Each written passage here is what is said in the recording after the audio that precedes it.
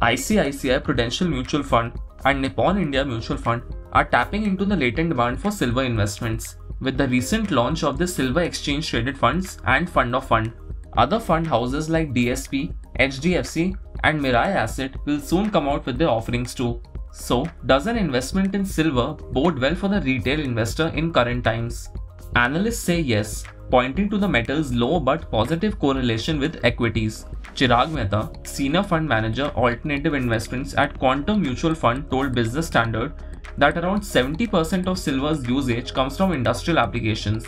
When economic growth is high, rising demand pushes its price up. So, while gold has a negative correlation with stocks, silver is more likely to work the other way around. While silver has declined 12.5% over the past year, experts expect it to begin performing again in the coming few months. The metal is trading at around Rs 60,000 per kg in key metro cities, but Naveen Mathur, Director for Commodities and Currencies, Anand Rathi Shares and Stockbrokers told Business Standard that the metal could reach a price of around Rs 67,000 in the coming few months. In the last decade, gold has definitely outperformed silver in terms of returns. So, experts suggest only considering silver investments as one option in a basket of commodities. For those considering investing only in silver, Experts suggest having a 10 year plus horizon. Business Standards Sanjay Kumar Singh explains more. It is always preferable to invest in a basket of commodities. That will give you a better hedge against inflation. When you invest in a basket, you are better diversified. So, if there is a downturn in the demand for one commodity, that will be compensated for by the demand for other commodities. At, at present, you do not have a passive fund that gives you exposure to a basket of commodities. One fund house has filed for a product that will give you exposure to both gold and silver within a single passive fund.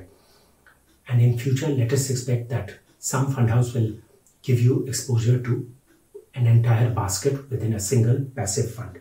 When you are investing, it is not ideal to invest to go through the jewelry route.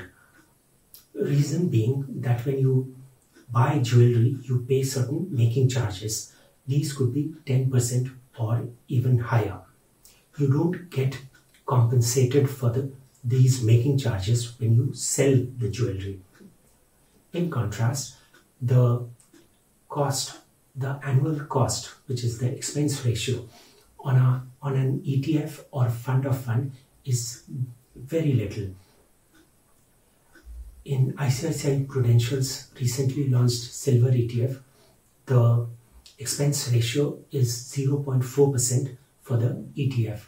It is around the same 0.43% for the direct plan of the fund of fund and it is about 1% for the regular plan of the fund of fund these are much lower costs compared to what you would end up paying in silver jewelry.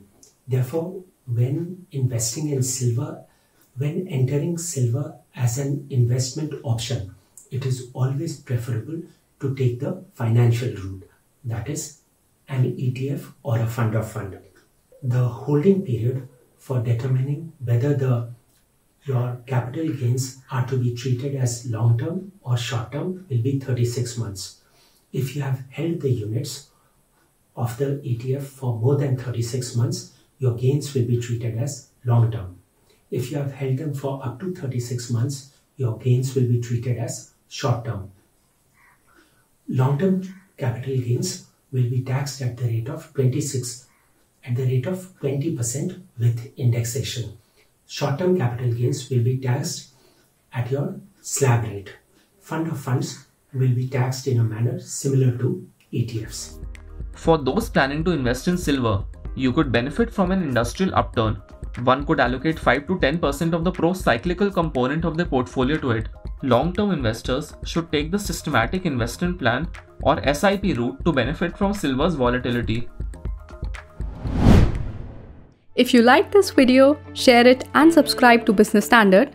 For more news, views and insights, log on to www.business-standard.com. Do also follow us on YouTube, Twitter, Facebook, Instagram, Telegram and LinkedIn.